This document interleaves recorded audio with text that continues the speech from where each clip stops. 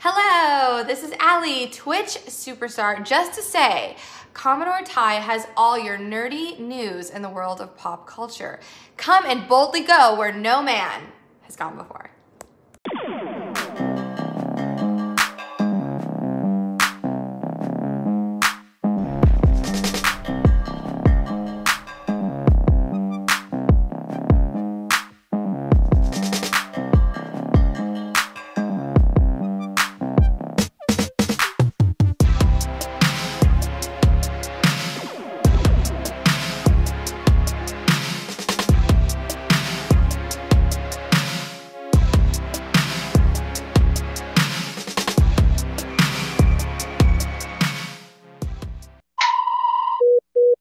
Message.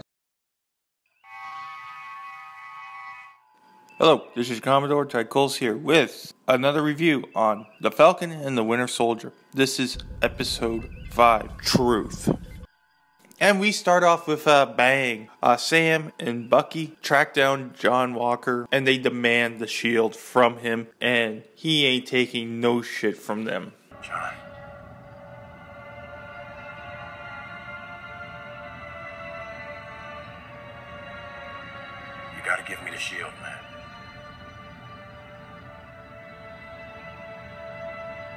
There's a huge fight, and it comes down to Walker and Sam because Bucky is knocked out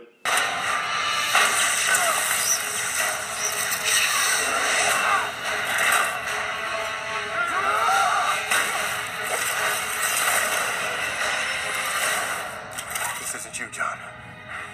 which is weird because it should be Bucky and Walker fighting each other, and not Sam and Walker fighting each other. But the story is about Sam becoming Captain America, so of course they gotta nullify Bucky in this fight somehow. So they have a huge tussle, and it ends up with John Walker getting his arm broken, but it also costs Sam his Falcon suit. It gets completely destroyed.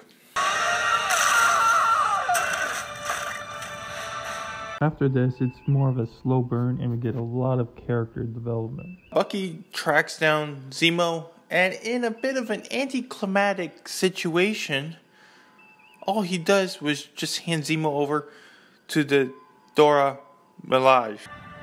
Ladies, I took the liberty of crossing off my name in your book. I hold no grudges for what you thought you had to do. Goodbye, James. But he does ask for a favor. Hey.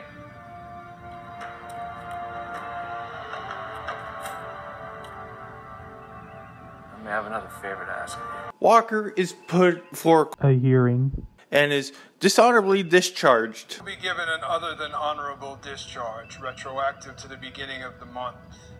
You will hold no rank in retirement and receive no benefits.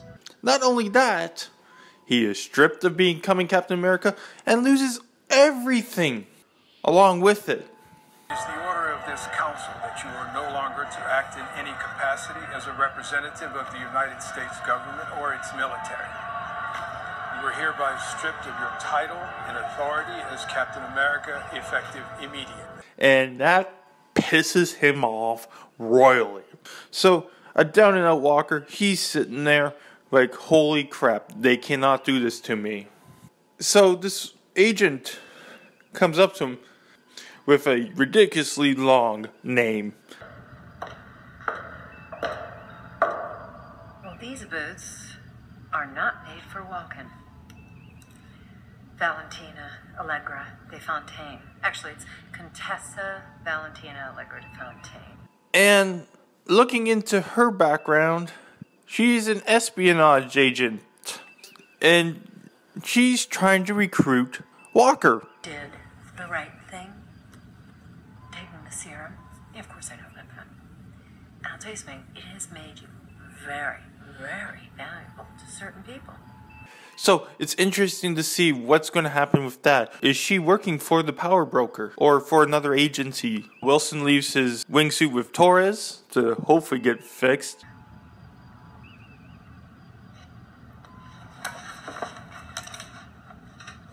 Thanks, Torres. for sure. Wait, yo, you forgot the wings. Cable.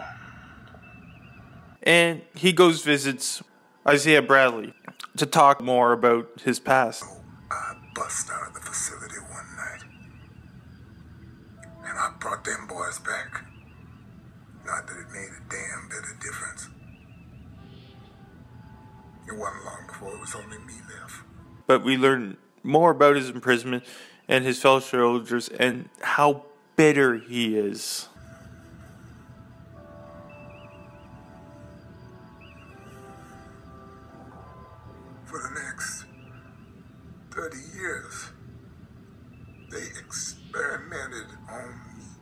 So after uh, his talk with Isaacs, Sam goes home and he helps his sister fix up the boat.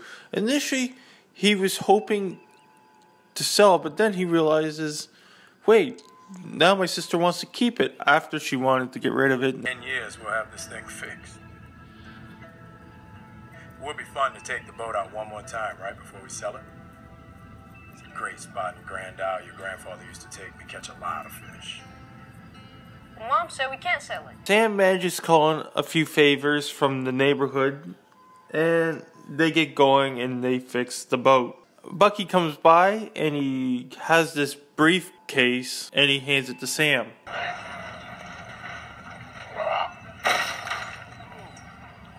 You're welcome.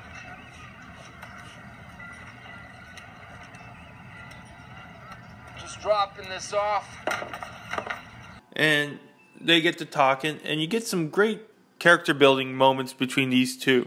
And you see uh, Sam finally train with the shield, and it's like they're giving each other advice and help, and to grow and advance. But you gotta make them feel better. You gotta go to them and be of service. I'm sure there's at least one person in that book who needs closure about something, and you're the only person who can give it to them. And at the end of it, they've come to an agreement that hey, the past is the past.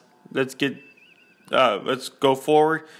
Get rid of this threat that the Flag Smashers are, and move on from there. You know Karli won't quit. Call me when you have a lead, and I'll be there. Then we go to the Flag Smashers, and frankly, I don't give a rat's ass about the Flag Smashers. They don't seem like they just seem like a normal terrorist threat. Like I've said since episode one, the only thing that's keeping them relevant is because they're full of super soldiers. But I digress. So they have a plan. They're going to attack the GRC.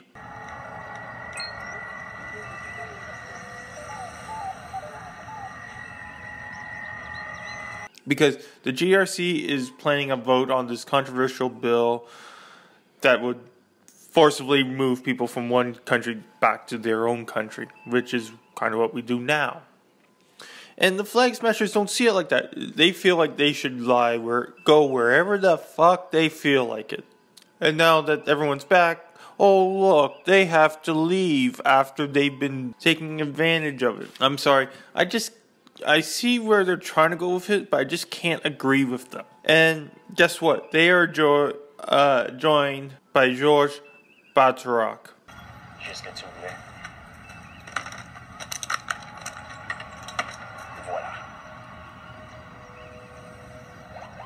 because the enemy of my enemy is my friend, pretty much. And so they plan their attack, and we see that the meeting's going ahead, and even some of the world leaders are like, "Do we really? Can we? Should we really vote on this bill now? We gotta talk about it." Which, if the freaking flag smashers weren't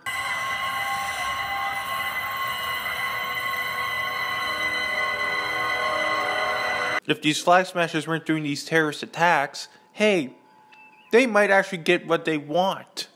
But because they decided to go towards terrorism, guess that's why they're doing this now. And we are left with that. Sam is notified.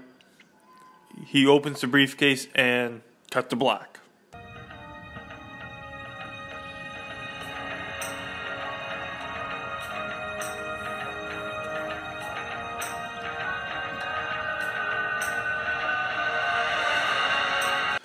And we gotta wait until next week to see what was in the briefcase. Most likely a new suit. And it was made in Wakanda, so you know it's good. As well, we get this interesting cutscene that seems to be out of nowhere. We just see this one scene with Sharon Carter. Weren't for me, you'd still be rotting away in that Algerian prison.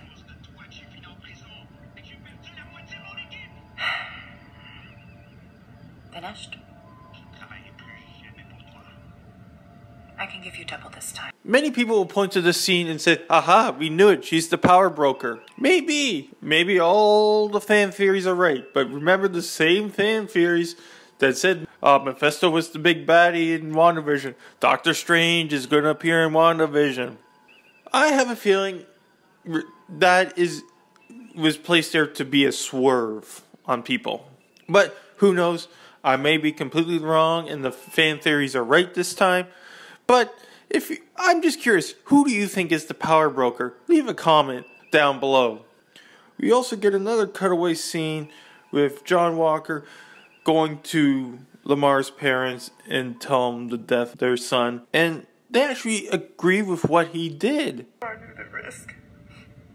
After everything you boys have been through together, I know he's resting easier, knowing that the man who's responsible got his justice.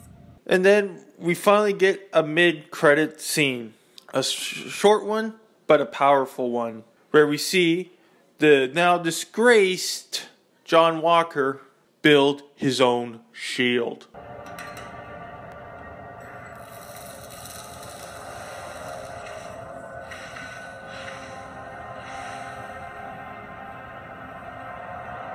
Taking his first steps to becoming the US agent or Dark Captain America.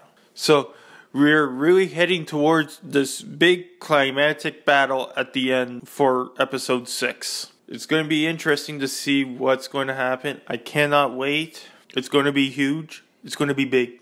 It's going to be spectacular. There's going to be fighting everywhere. Okay, enough of that. For your Commodore Tychos, live long and prosper. Hailing frequencies close.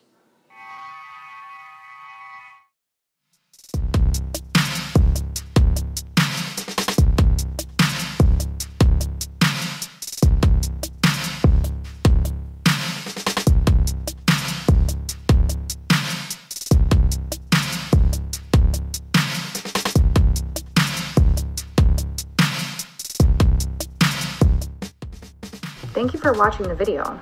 Please like the video, subscribe to the channel, watch one of my other videos, and if you can show your support by donating to my PayPal.